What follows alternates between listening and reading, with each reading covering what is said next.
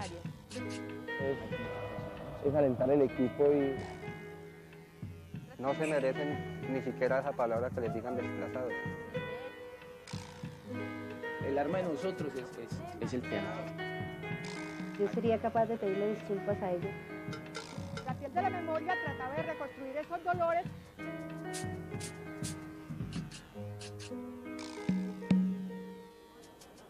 El barrio El Retiro, situado al oriente de Cali, queda a casi 50 cuadras de la calle Quinta, avenida principal de la ciudad. Es uno de los 39 barrios del distrito de Agua Blanca, sector de inmigrantes del Pacífico colombiano, que llegaron a Cali hace 20 años, con la esperanza de una vida mejor y hoy deben enfrentar el flagelo de la violencia. En este barrio de 15.000 habitantes actúan 15 pandillas. Los enfrentamientos de estos grupos, que tienen entre 30 y 50 miembros, han marcado la vida en el retiro. Señalado a través de los medios de comunicación como uno de los sectores más peligrosos de la ciudad, su imagen se ha convertido a la vez en costumbre y estigma para sus habitantes. En este entorno, muchos jóvenes han aprendido a hablar poco y a no temerle a nada.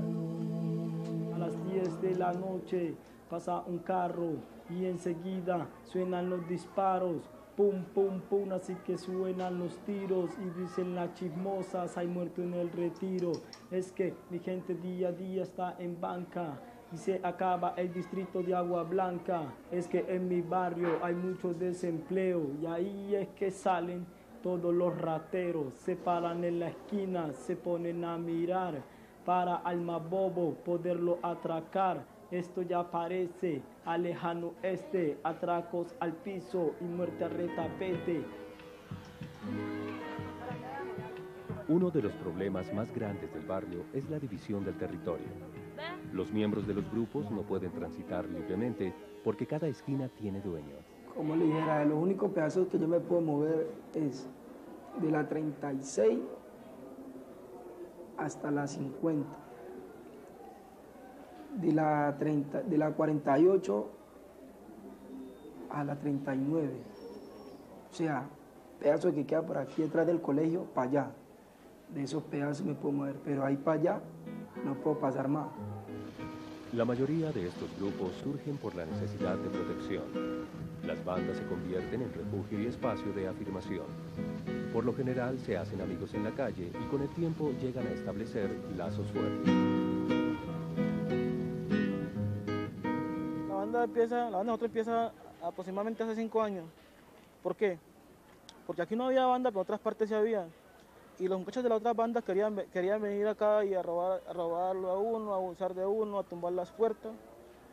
Y básicamente esto creo fue como, la banda creó inicialmente eh, como en cuestión de seguridad, para uno protegerse de, de, de, de las otras bandas. Pero como, todo, como todas las cosas, al final va perdiendo, va perdiendo como su, su objetivo, su identidad. En un medio donde es imperativo cuidarse, estos grupos entran en conflictos fácilmente. El riesgo aumenta a medida que empiezan a portar armas de fuego.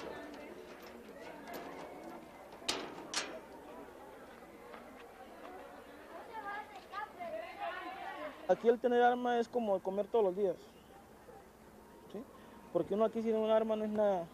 Pues un fierro también es caro, ¿sí me entiende? Pero para el que hace lo suyo no es caro. Un fierro por lo menos, hay uno que valen 500 sin papeles, otro amparado que vale millón y piola, otro una pacha vale 120, un chango 60, un solo pepo 40, una pistola 50. Hay personas que prestan los fierros. En caso de que a mí me lo quita la policía y me llevan a la cárcel, pues en el momento que estoy en la cárcel no me dicen nada. Pero cuando salgo me dan un mes de plazo para que lo pague. Y si en un mes no me he devolucionado la plata, ya él cree que yo uno no le va a pagar y entonces ya está comprometiendo la vida de uno. En el 2001, las muertes violentas en el retiro llegan a 46, la mayoría como resultado de la guerra de pandillas.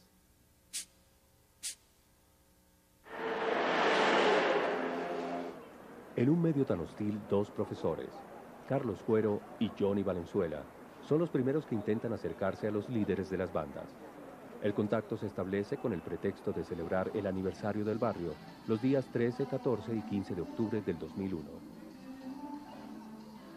Era muy prematuro para hacer una fiesta, muy prematuro. La cosa estaba dividida igualmente, las balaceras estaban.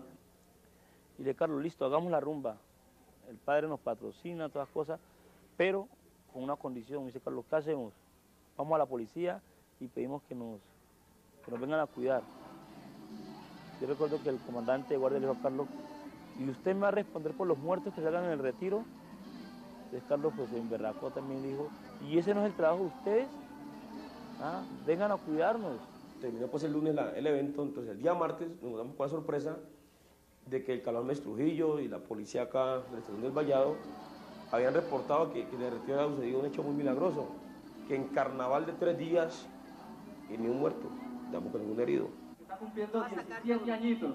17, ¿verdad, Rosa Floria? 86. Número 86. 86. El barrio, inicialmente dividido por 15 pandillas, tuvo nuevos límites. A raíz de la fiesta surgieron tres sectores, uno por cada tarima. Cada grupo respetó el acuerdo de no agresión. Y llevaba mucho tiempo se hacía una fiesta donde no, no hubieran, no hubieran problemas. Y ese día se rumbió de 8 a 8, sin problema. Y básicamente ese fue el primer acercamiento que se hizo con los muchachos. Pero a veces va y habla con los grupos. Vean, en tal parte se va a hacer unas reuniones, queremos que, que la respeten y todo. Unos toman conciencia, otros no. ¿Ya me entienden? El reinado fue el, el- cierre de, de la fiesta. Todos los, diferentes puntos veía gente y en especial veía muchachos que hayan estado en conflictos y yo los veía abrazados. Yo decía, ¿será que- que- que se están matando ahí? O... Pero no, estaban abrazados normal y dándose la mano de pana. Para los medios de comunicación fue una sorpresa. Tres días de rumba y ni un solo muerto en el retiro.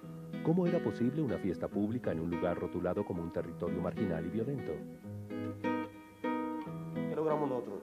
Logramos medir de que en ninguna, en ninguna de nuestras fiestas que hacíamos con la comunidad hubo agresión física. Entonces ahí pudimos notar de que sí se puede manejar el índice de tolerancia con estas fiestas y eso íbamos reduciendo un poquito también la parte violenta.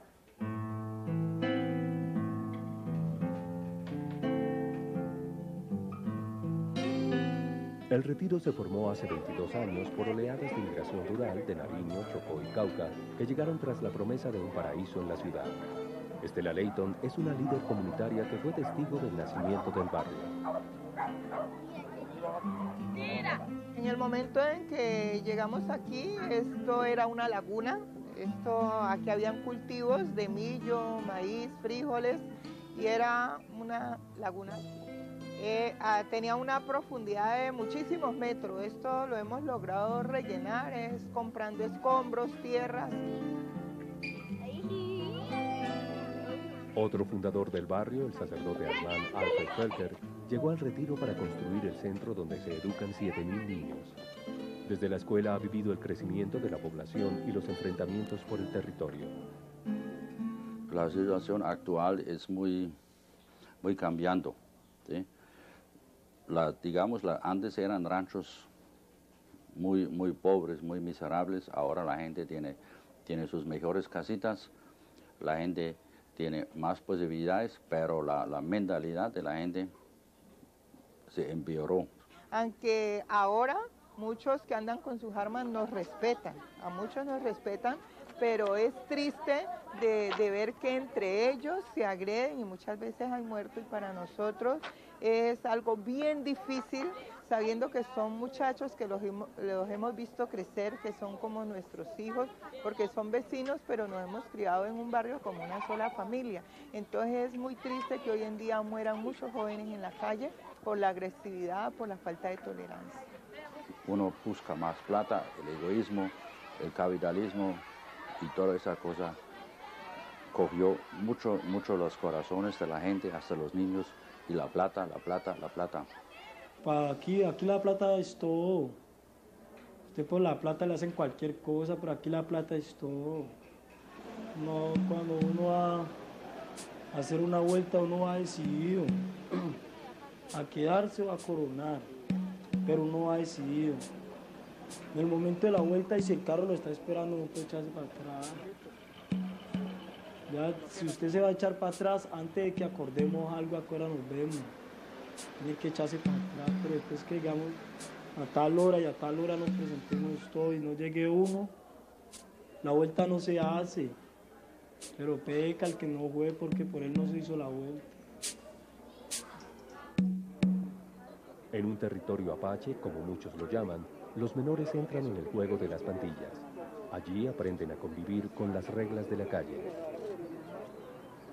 Una manera de, de violencia y de imponer unas leyes del monte. Y, y esa es una cosa muy, muy pesada, muy triste, porque también están metidos muchos menores de edad. No, pues yo por lo menos aquí en el retiro nunca me la han montado, ¿sí me entiende?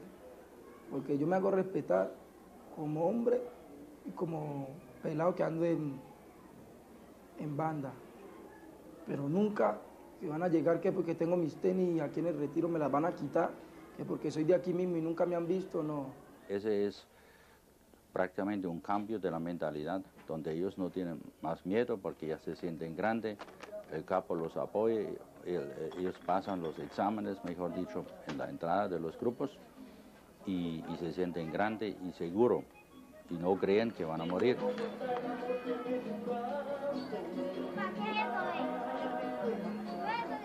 Sin embargo, de todas maneras, siempre hay gente escrupulosa que los pa les pasa un fierro a niño. ¿Por qué? Porque si tienen un, por decirlo, tienen una liebre, entonces ellos, no, ellos le, le dicen al peladito, anda a matarme perencejito. Y como saben que es un menor, entonces él va y le paga con seis meses en el Lili. Yo, por ejemplo, a mi hijo no le deja coger un fierro, no. Porque yo no quiero que él sea lo que yo viví, no quiero que él lo viva. ¿Ya me entienden? Otros modos. Que yo viví en esos mensajes de, de estar que a cada rato los problemas arreglan con un arma, no antes al contrario. Sino que aquí la, mayoría de gente no entendemos que los problemas aquí se arreglan es hablando. Aquí nadie habla, sino que aquí actúan de una vez. La muerte de menores de edad en el retiro no es ajena a la realidad del barrio. En medio del proceso de paz se presentaron dos hechos que atemorizaron a la comunidad. Uno de ellos fue la balacera en la cancha de fútbol durante la final del torneo Paz y Convivencia, donde jugaban jóvenes participantes en el pacto de no agresión. Lamentablemente la cosa iba muy bien ese año, fue en octubre la cosa. En noviembre tuvimos, tuvimos una barrezón que nos hicieron eh, siete pistoleros, estábamos tirando un partido en la cancha del múltiple y bueno, llegaron siete pistoleros y barrieron con todo el mundo. Siete, nueve heridos, un joven muerto. Eh, bueno, eso bajó los ánimos, la gente se asustó demasiado. Posteriormente, en ese mismo año, en diciembre 31, la muerte de Efren Granados, el boxeador, que fue muy, muy, muy sonado. Los entrenadores empezaron a mirar hacia el retiro como un barrio donde se formaban buenos boxeadores.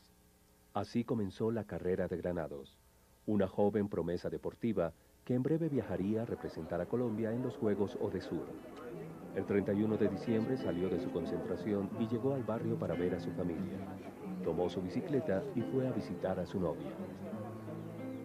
Porque si bien es cierto, Efren no tenía problemas con ningún grupo.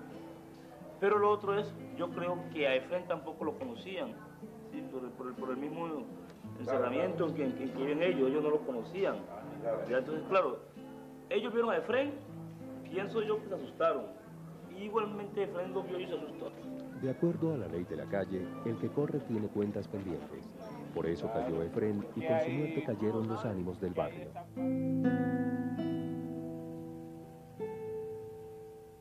Eso fue una, la gota pues que, que rebosó la copa. Para la comunidad, la muerte del boxeador se convirtió en un duelo colectivo. Cuando este hecho trascendió las fronteras de El Retiro y tuvo repercusión nacional, la gente del barrio reaccionó. Había que hacer algo para que los jóvenes dejaran de matarse.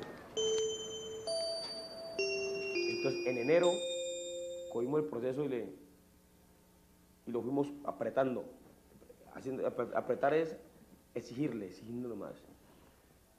Fue cuando determinamos sacar dos líderes por cada grupo, dos líderes de ellos mismos cada grupo, y reunirnos todos los domingos a las 10 de la mañana. Y con cada líder, ahí teníamos el control de todo el barrio. A pesar del desconcierto de la comunidad, las fiestas se reinician cada domingo, alcanzando la cifra de 60, cuatro por cada grupo. Entonces empezamos a hacer las fiestas por sectores. Entonces, la fiesta por sector es la, es la, es la actividad más extrema. Por 20 cerveza. Cuero no estaba a veces en las rumbas.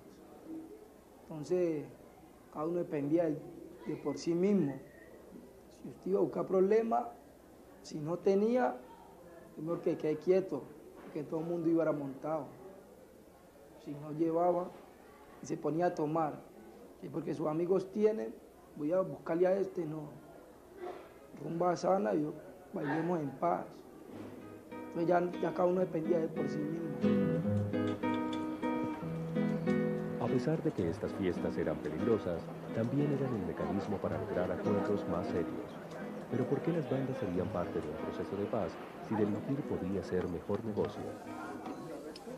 Yo creo que a veces porque ya esta guerra ha cobrado muchas vidas. ¿sí? Nosotros hemos, visto caer muchos, muchos compañeros y mucha gente que no tiene nada que ver en, la- en el puente. Y de una otra manera por eso es que queremos de pronto dejar las armas. Ya pronto porque nuestra mamá está cansada de- de rogarnos que mi hijo acueste temprano, mi hijo como que no salga, mi hijo como que no robe. Entonces ya, por eso es que ya uno como que a veces quiere, o los muchachos quieren como ya dejar las armas por eso o quieren, o, o quieren ya cambiar de vida, mejor dicho. Quieren ya formar su hogar, tener sus propios hijos, tener algo propio, tener una casita o tener cosas propias. Con el proceso de paz vinieron los primeros trabajos, la limpieza del río Cali, la fábrica de ataúdes y de almohadas, entre otras opciones de trabajo, a las que se vincularon varias instituciones de la ciudad y que constituían una esperanza para los jóvenes en riesgo. Y los mismos muchachos, si uno habla- habló con ellos, dijeron, no, padre, ayúdanos, ¿qué hacemos? Sí, porque así no podemos vivir. Ya me mataron dos compa- compañeros, dos hermanos. Mis, mis papás se fueron, yo tengo que esconderme, eso no es una vida, y tengo 15 años. Dije, ya, hombre, eso es una locura. Lo que yo quiero para mí es que ya estudie, o tal vez por hoy es que estoy así, para que no vayan a decirle, no, pues sí, tu papá fue un matón, un ladrón. No, nunca, que tu papá estuvo en una cárcel.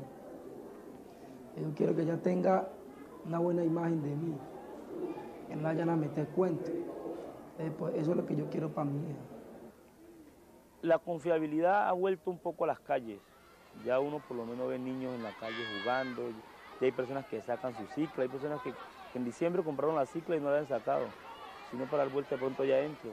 Hay personas que la sacan, hay personas que ya están colocando sus zapatillas normales. Ya los estudiantes pueden entrar acá a la parte de, de la 34 aquí a Secón con más confiabilidad. Anteriormente eso era un problema, ese paso de acá del puente. ¿sí? Entonces, nosotros vemos que, ha valido la pena, ha valido la pena y lo peor del caso, o lo mejor del caso, han disminuido los muertos.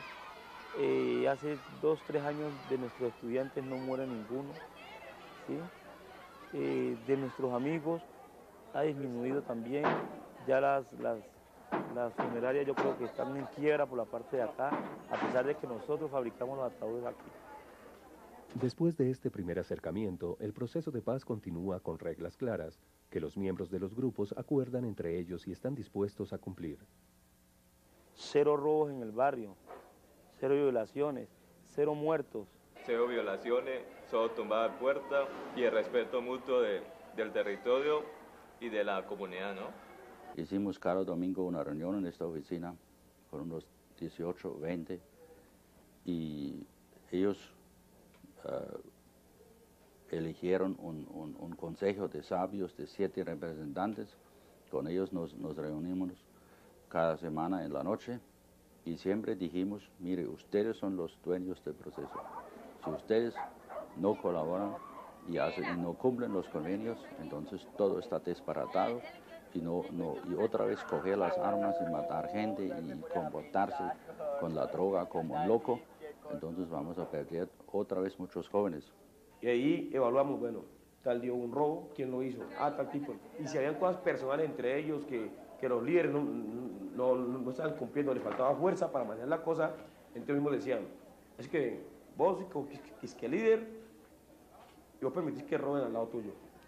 Ellos iban porque nosotros citábamos, pero legalmente en esa reunión se veían las caras a los enemigos, todos muy prevenidos, y nosotros manejamos la cuestión. Después de seis meses nos, dimos cuenta en el primer ejercicio que teníamos el barrio unido. En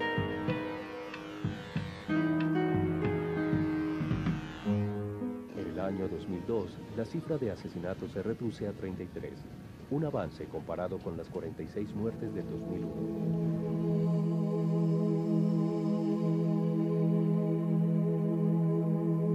A pesar de los resultados positivos, el proceso es frágil.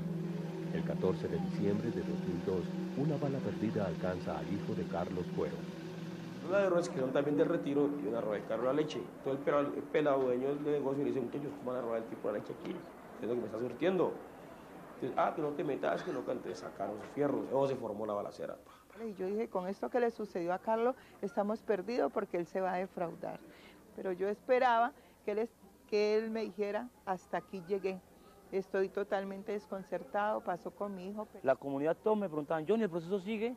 Los mismos muchachos, ¿esto sigue? Y luego vienen acá los, los dos muchachos muy bien armados, así me acuerdo, bueno.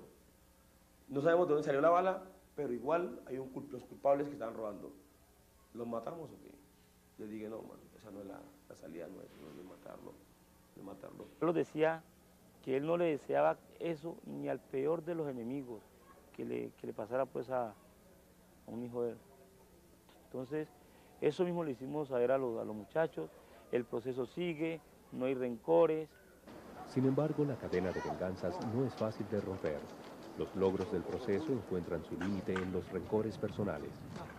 Yo puedo perdonar a alguien que, digamos así, que el- los manes digan, no, pues, pero nosotros le digan a alguien, no, pues, nosotros no queremos tener más guerra con nadie, paz queremos, entonces no- más de uno reacciona y dice, no, pues,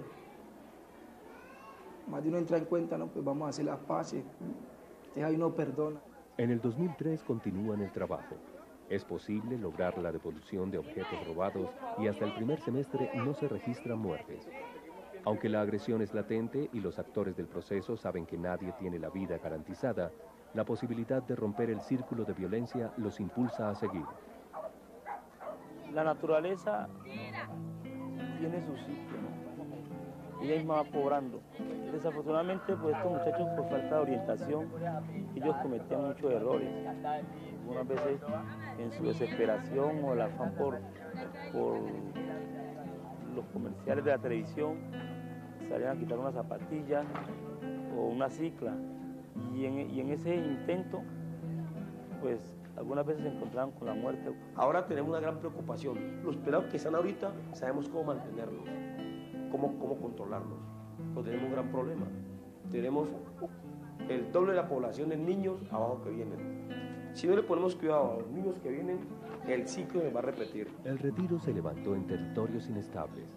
Ahora es una parte de la ciudad que busca estabilidad. Los habitantes quieren vivir y ocupar sus calles sin cargar el estigma de la violencia.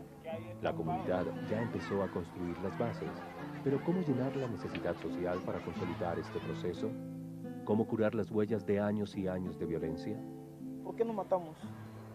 Y eso yo creo que eso, ¿qué te digo? Eso sí va a ser, eso va a pasar una cantidad de años y va a tener que, va a tener que pasar una cantidad de muertos para que alguien pueda descifrar el por qué nos matamos.